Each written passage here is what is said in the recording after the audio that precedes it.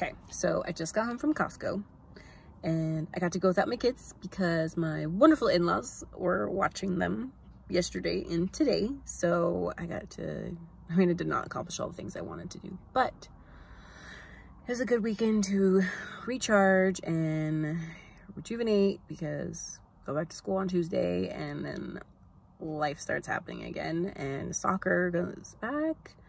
By the way, soccer never freaking ends, but that's okay because my kids need the exercise.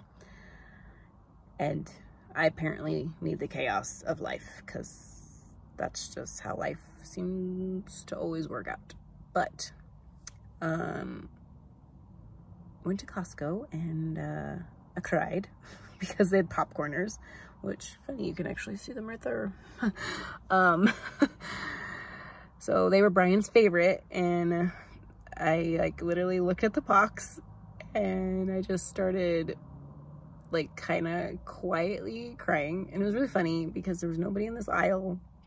It was completely empty which was like thank goodness. And it was almost like Brian sent like nobody in that aisle for that reason. So I just kind of like had my moment of crying shedding a couple tears and then taking a deep breath and going forward because what else am I gonna do in life? I just have to keep moving forward no matter how much it sucks.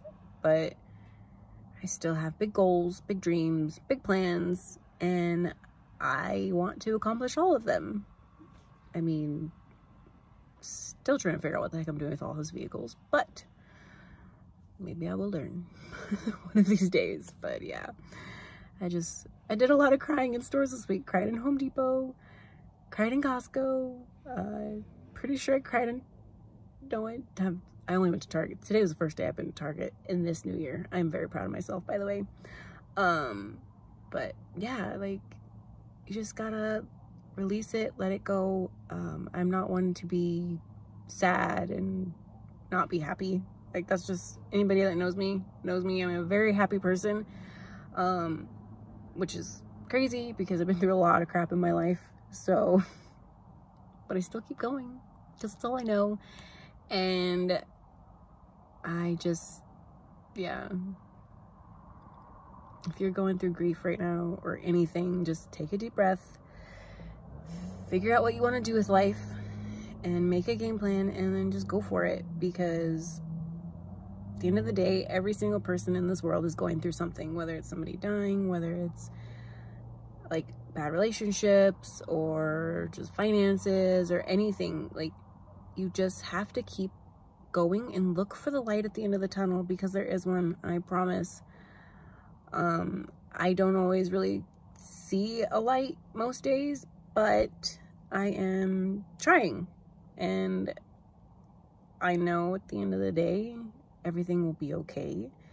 And I will always be sad. I will always be a widow, which is kind of sad to think about, but it's also empowering because it's a title that gives you something that you came back from. You have probably the worst thing that could ever happen to you happen, but you came back from it.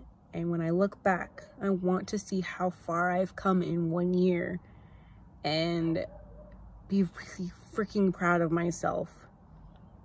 Because like some days I don't really feel very proud of myself, but I have a lot of people that are proud of me. So it kind of helps especially on the days that I don't feel all excited about life, but just take them as they come. So I hope you're all having a great Sunday and I hope you've all had like a good first five days of your year. Tomorrow I start a detox, so I'm gonna go meal prep so I can succeed because I got big goals. All right, have a good day, guys.